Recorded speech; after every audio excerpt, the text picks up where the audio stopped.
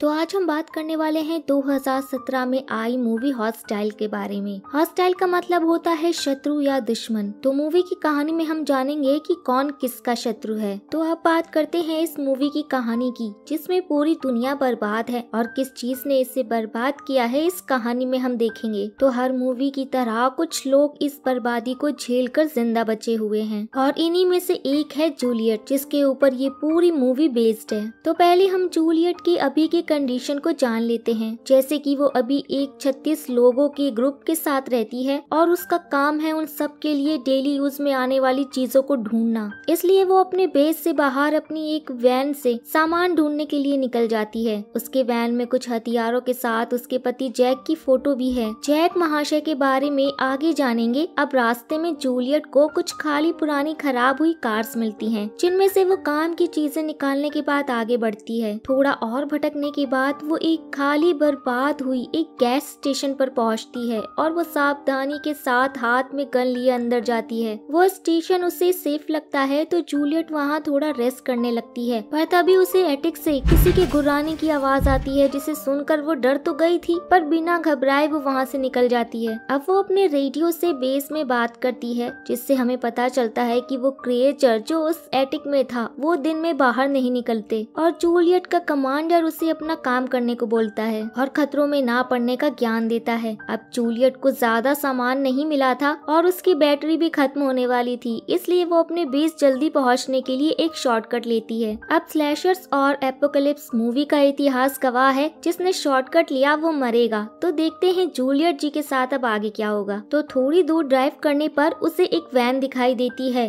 Supplies कम होने की वजह से वो उस वैन में काम करने की चीज़ें ढूँढने जाती है। तो उसे वैन के बाहर एक घायल बूढ़ा आदमी मिलता है, वो जूलियट को उससे मारने के लिए बोलता है और बताता है कि उस पर रात में उन क्रिएचर्स ने हमला किया था, जिसकी वजह से वो इस हालत में है और बूढ़े आदमी ने उस क्रिएचर को उसकी ही वैन में बंद कर रखा है। पर जूलियट उस आदमी को मारकर अपनी गोली बर्बाद नहीं करना चाहती थी, इसलिए वो वैन में जाकर उस क्रिएचर से लड़कर उसे मार देती है। अब वो बाहर आती है तो वो आदमी मर चुका था तो जूलियट सप्लाईज लेकर अपनी वैन से बेस की ओर निकल जाती है। अभी जो उसने किया, उससे उसका काफ़ी टाइम चला गया था और रात होने ही वाली थी। उसे और हमें, अब दोनों को पता चलता है कि रात में वो क्रिएचर्स अपनी सप्लाईज के लिए निकलते हैं। तो जूलियट उनका सप्लाई ना बने, इसलिए स्पीड थोड़ी तेज करके बेस की ओर जाने लगती है। अब उसका ध्यान उसकी और उसके पति की फ़ोटो पर पड़ता है और अचानक हवा सी वो फ़ोटो उड़कर वैन के बाहर चली जाती है, जिससे जूलियट का ध्यान भटकता है और उसकी वैन अनबैलेंस्ड होकर पलट जाती है। हम अभी तक जूलियट के प्रेजेंट लाइफ के बारे में जान रहे थे, पर अब एपोकलिप्स के पहले उसकी लाइफ कैसी थी, उसके बारे में जानेंगे। क्योंकि मूवी के बीचों बीच में जूलियट के पास्ट को अचानक दिखाया जाने लगता है, जो कि काफ़ी खराब लगता है। अब हम जूलियट को उसके पास्ट में एक आर्ट गैलरी में देखते हैं, जो कि बस वहाँ पर फ्री का खाना और शराब पीने आई है। और उससे पेंटिंग्स के बारे में तो कोई ज्ञान ही नहीं है, न उसके बारे में उसे कोई दिलचस्पी है। तभी उसके पास उस आर्ट गैलरी का मालिक जैक आकर उससे पूछता है कि क्या उससे बीकैन पसंद है? तो जूलियट उससे बताती है कि वो वेजिटेरियन है। जैक एक पेंटर। फ्रांसिस बिकेन की पेंटिंग के बारे में उससे पूछ रहा था, पर जूलियट को उस पेंटर के बारे में नहीं पता होता, इसलिए उसका जैक के सामने मज़ाक हो जाता है और वो वहाँ से निकलने लगती है। जैक भी समझ गया था कि जूलियट को पेंटिंग्स के बारे में कुछ भी नहीं पता। बाहर बारिश हो रही थी, इसलिए जूलियट इस आर्ट गैलरी में आई थी। तो बारिश रुकने तक जैक उसे वहाँ की पेंटिंग्स दिखाने लगता है, जिससे वो जूलियट को बोलता है कि उसका उससे मिलना उसकी किस्मत में है, जिस पर जूलियट को किस्मत जैसी बातों पर विश्वास नहीं। वो भी समझती है कि जैक उसके साथ फ्लर्ट कर रहा है। अब जैक उसे एक अगली पेंटिंग दिखाता है, जो कि जूलियट को भी अगली ही लग रही थी। पर जैक उसे पेंटिंग को ध्यान से देखने के लिए बोलकर उसे उस अगलीनेस के पीछे की ब्यूटी को देखने को बोलता है। अब सुबह होने पर जैक जूलियट को अपने घर लाता है। उसके घर को देखकर जूलियट शॉक थी, क्योंकि जैक बहुत ज़्यादा अमीर है और दूसरी तरफ़ वो बहुत करीब। अब दोनों अपने बारे में एक दूसरे को बताते हैं, जिससे हम जान पाते हैं कि दोनों के पेरेंट्स नहीं हैं और ना ही कोई दोस्त है। दोनों बिल्कुल अकेले हैं। जूलियट जैक का इतना अच्छा बिहेवियर देखकर उसे कुछ गड़बड़ लगता है और वो घबरा कर वहाँ से चली जाती है। कुछ दिनों के बाद जैक एक रेस्टोरेंट में जूलियट को एक बूढ़े आदमी के साथ देखता है। उनका पीछा करने पर जैक को पता चलता है कि जूलियट ये सब पैसों के लिए कर रही है। जैक उसका पीछा करते हुए उसके घर तक आ जाता है, जहाँ जूलियट को कुछ गुंडे रेंट के लिए परेशान कर रहे थे। जैक आकर उनसे बचने में जूलियट की मदद करता है और उसे घर के अंदर लाता है, जहाँ उन्हें उसका ओनर मिलता है, जो कि उन गुंडों का बॉस भी था। और वो जूलियट से पैसे लेने के बाद उसे घर के अंदर जाने देता है। अब जैक भी घर में आकर जूलियट की मदद करने को बोलता है, पर जूलियट जैक को भला बुरा बोल कर उसे वहाँ से बेइज्जत करके भगा देती है। अब एक दिन जब उसे गुंडों ने मार पीट कर उसे घर से भगा दिया था तो वो घायल होकर जैक के पास आकर अपनी हालत बताती है। जैक उसका बहुत अच्छे से ख्याल रखता है।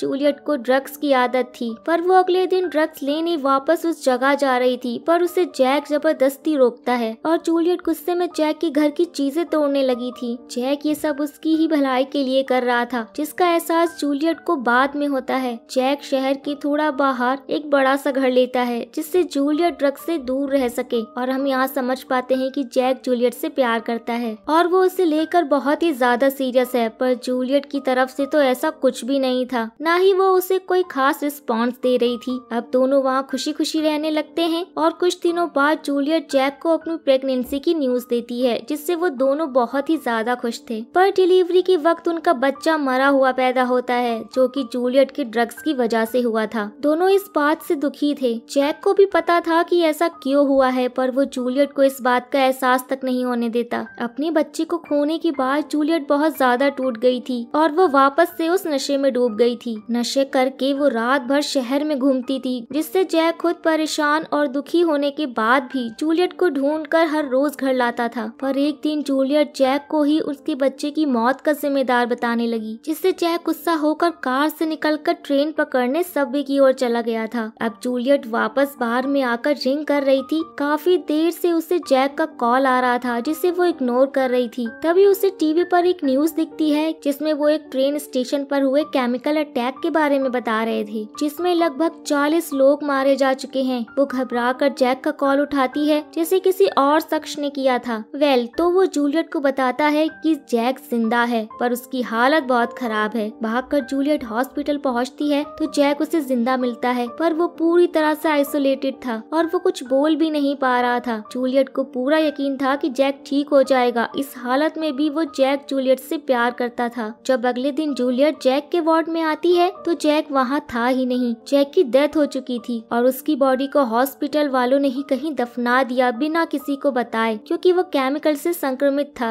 अब जैक की मौत पर जूलियट फूट फूट कर रोने लगती है। जब वो ज़िंदा था तो उसे जैक और उसके प्यार की कोई कदर ही नहीं थी। अब उसके जाने के बाद जूलियट को एहसास होता है कि जैक उसके लिए किसी फरिश्ते के जैसा था, और तब से लेकर आज तक वो जैक की यादों और अच्छाइयों के सहारे ही ज़िंदा है। तो ये था जूलियट का पास्ट। तो अब हम जानते हैं कि प्रेजेंट में वैन पलटने के बाद क्या हुआ। अब रात में जूलियट को होश आता है तो वो देखती है कि उसका एक पैर टूट चुका है और उसका टूटा हुआ पैर उसी की वैन के नीचे फंसा हुआ है। अगल बगल देखने पर उसे वैन के बाहर गन मिलती है, जिसे वो एक जुगाड़ बनाकर अपनी ओर खींचती है, पर उसकी किस्मत उतनी अच्छी कहाँ? उसका वो जुगाड़ काम नहीं आता तो अपनी फंसी हुई टांग को जैसे तैसे करके वो उस वैन के नीचे से निकालती है। इन सबसे उसके पैर की हड्डी बाहर आ गई थी तो वो उस जगह पर एल्कोहल डालकर उसे हड्डी पर ज़ोर से मारकर उसे वापस अंदर करती है, जिसमें उसकी बहुत चीखे निकलती हैं, पर उसकी चीखे उसके दर्द के आगे मामूली थी। तो अब वो अपने पैर पर कुछ कपड़ा बांधकर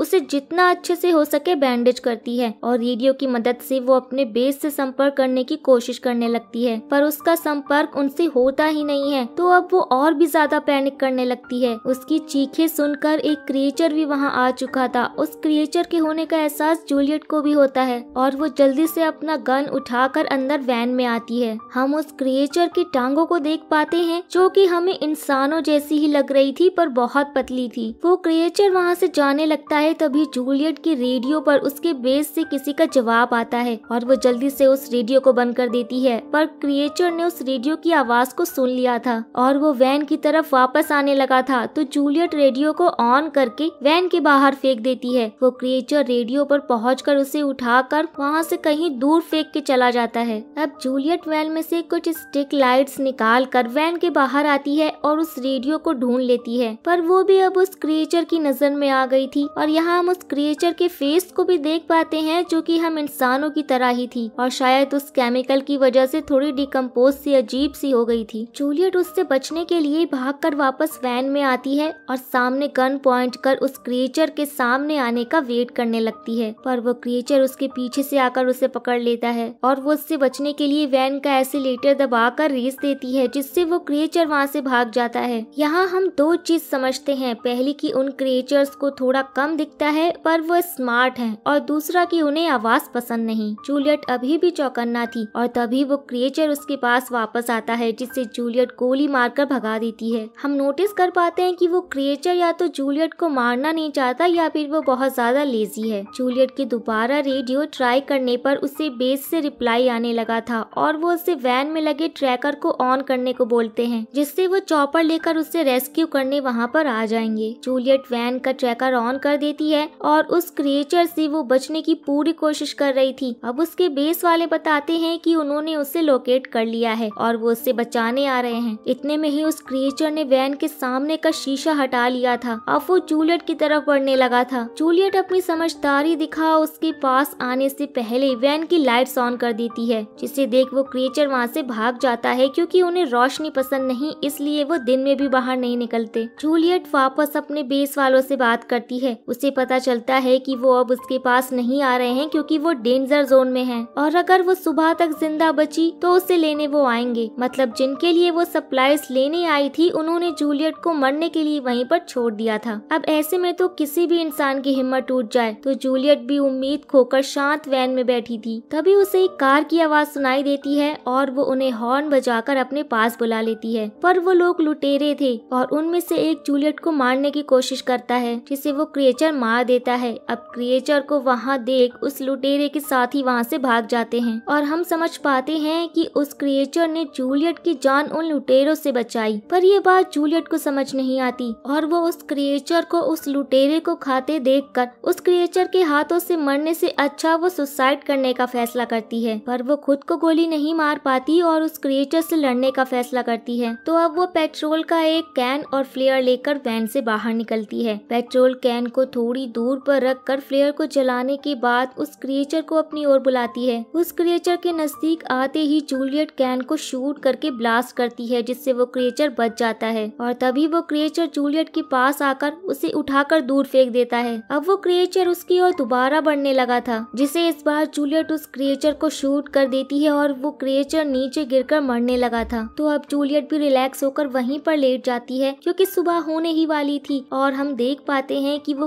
क्रिएचर भी अभी तक मरा नहीं है। वो धीरे धीरे जूलियट की तरफ़ बढ़ रहा है और उसे अपने करीब आता देख जूलियट उसे शूट करती है, पर गन की गोलियाँ खत्म हो गई थी। गन रिलोड करने से पहले ही वो क्रिएचर उसकी बॉडी के ऊपर आ गया था और वो जूलियट के फेस को ऐसे छूता है जैसे उसे जैक छूता था। और अब जूलियट और हमें समझने में बिल्कुल भी देर नहीं लगती कि वो क्रिएचर कोई और नहीं बल्कि जैक ही है। और वो रात भर जूलियट के पास आकर उसे एहसास दिलाने की कोशिश कर रहा था कि वो जैक इसलिए कई मौके मिलने के बावजूद भी उसने जूलियट को नहीं मारा। अब जूलियट को जैक की वो दो बातें याद आती हैं। अगर उसे पहले याद आ गई होती तो जैक इस कंडीशन में नहीं होता। पहली की अगलीनेस के पीछे की ब्यूटी को समझो और उन दोनों का मिलना उनकी किस्मत में था, जिस पर अब जूलियट को पूरी तरह से यकीन हो गया था। लास्ट में वो जैक को आई लव यू बोलकर गन से खुद को और जैक को शूट करके मार देती है और ये मूवी यहीं पर एंड हो जाती है। सो so गाइस अगर आप लोगों को वीडियो पसंद आया हो तो वीडियो को लाइक और कमेंट करना मत भूलिएगा। अब हम मिलेंगे नेक्स्ट वीडियो में। तब तक के लिए take care and tata bye bye